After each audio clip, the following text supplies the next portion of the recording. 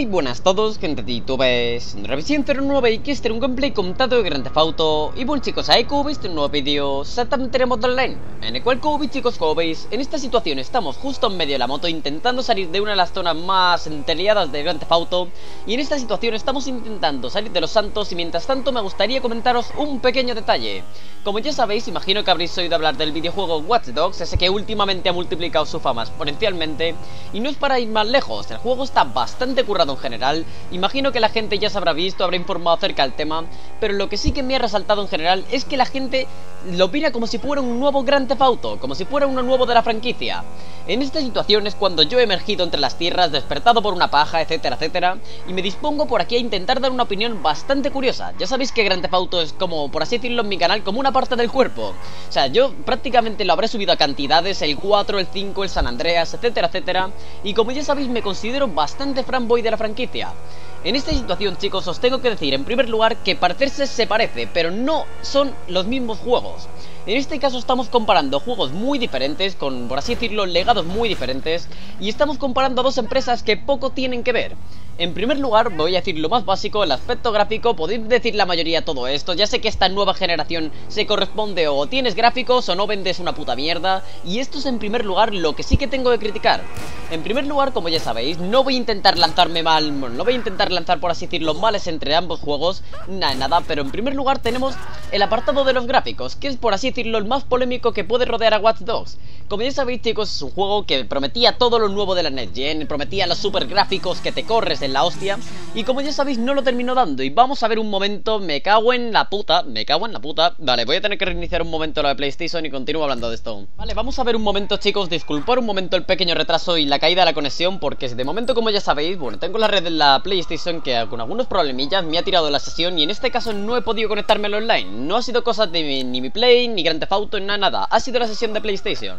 Así que nada, con este caso chicos, vamos a seguir hablando del tema esta vez en el modo offline y mientras tanto voy a hablar del tema de los gráficos. Como ya sabéis chicos, no hace falta mucho que comentar en esta época, sobre todo si estáis muy puestos en el E3, juegos de este tipo y exactamente las últimas noticias. ¿Qué más os voy a decir, chicos? Inicialmente Watch Dogs se presentó con los mejores gráficos de la nueva generación. Ese juego eh, tenía un aspecto simplemente que te corre, o sea, que no lo iba a tirar ningún ordenador de esta generación ni de coña. Y la verdad es que no acabó siendo eso. Realmente lo que acabó siendo es un punto bastante decente y en ese apartado eh, muchos preguntaréis en este caso. Tiene gracia de que yo critique esto, que al menos comente este detalle estando jugando en la Play 3 al Grand Theft Auto 4, al, perdón, al Grand Theft Auto 5, al he dicho Grand Theft Auto. En este caso, chicos, tengo que comentaros un pequeño detalle acerca Y es que la culpa de que esto se pueda ver así No es como tal del juego, es de la plataforma. Como ya sabéis a la Play 3 en este caso Le cuesta bastante llegar a tirar esto Y no hay más que comentar en este caso. Si estuviera en la plataforma PC Vosotros no sabríais el cambio tan grande En el aspecto gráfico que tendría. Si continuamos profundizando en el aspecto gráfico Desde luego podemos decir sin ningún problema Que Watch Dogs supera con crecer los gráficos que puede ofrecer el Grand Theft Auto 5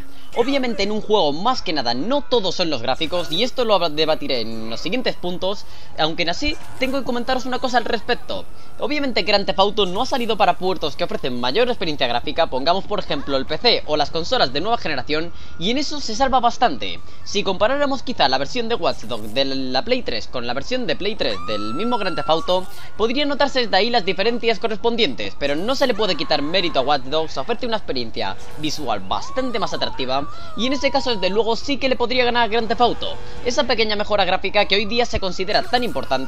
Y que bueno, tiene sus razones, tiene justificadas la mitad de sus razones al menos. Aunque en esta situación chicos, no todo en un juego son los gráficos Y iba por donde iba Os vengo a comentar el pequeño detalle en general de las físicas del motor eh, La experiencia que ofrece en este caso el Watch Dogs. Os voy a comparar un juego bastante peculiar que muchos recordaréis Y no va a ser precisamente Grand Theft Auto 5, va a ser Grand Theft Auto 4 en este caso sí, eh, me refiero exactamente a la versión de PC, a la versión de 2008 Y vosotros preguntaréis, ¿no es ya bastante arriesgado de por sí competir un juego 2013 con 2014 a un juego de 2008 con 2014? Pues en este caso os parecerá muy brutal Pero una persona ha llegado a hacer, una persona exactamente de origen ruso Por si acaso alguien quiere los detalles Ha logrado hacer un test de comparativas entre Watch Dogs y las físicas de Grand Theft Auto 4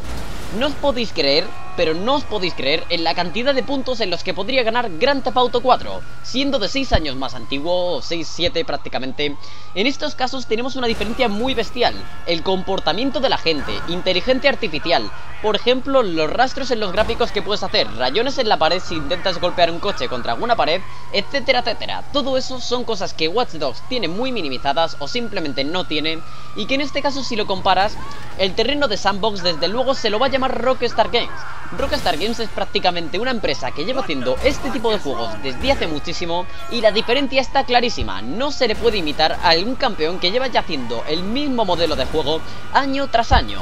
No en este caso, obviamente, saca un juego cada año, pero sin embargo lleva la experiencia de más de una década. Lo que para mí es un factor prácticamente impresionante y prescindible en este caso en este tipo de juegos, y que sin embargo ahí gana un punto que no puede tener Watch Dogs, el aspecto en general, tanto físico como el comportamiento de todo el juego en general. En este caso también tenemos el apartado historia que si lo vamos a seguir comparando con Grand Theft Auto 4 va a ganar de cabeza Watch Dogs. Se sabe que la historia de Grand Theft Auto 4 la he jugado yo de arriba abajo 20.000 veces, es una puta mierda. En primer lugar había que comentar este detalle al respecto, la historia de Grand Theft Auto no es para tirar cohetes y sin embargo la de Grand Theft Auto 5 sí que pega completamente un revés. En el Grand Theft Auto, al menos en la edición quinta, en este caso tenemos una historia muchísimo mejor con diferencia y lo podéis comprobar, todo el mundo que se haya comprado este mismo juego puede apreciar simplemente las diferencias, bueno, de arriba abajo, lo vea como lo vea. Es un juego muy currado, la verdad, y es muy diferente a lo que viene a ser sus antecesores. En este caso, no solo por darnos nuevo contenido y aparte nuevo, por ejemplo, nueva historia, nuevos personajes, etcétera, etcétera, nos ofrece una experiencia de juego muchísimo mejor con diferencia. En este caso chicos, si queremos comentar detalle, nos podríamos tirar hasta las tantas. Quiero mencionar que los dos juegos son completamente diferentes. Son iguales pero a la vez diferentes. En primer lugar, me quiero despedir con todo esto, después de hacer este tipo de comentarios al respecto y decir esta serie de cosas. Y quiero intentar deciros que si os compráis un juego y os animáis a comprar otro, en muchos casos hacerlo por los puntos buenos, no porque un juego puede ser precisamente mejor que otro. En este caso chicos, me ha sido un placer hacer el vídeo e intentar mostraros algunas características Y bueno, en este caso chicos, ¿qué más deciros? Espero os haya gustado y no os olvidéis de comentar, puntuar, suscribiros a lo que queráis Y nos vemos en el próximo vídeo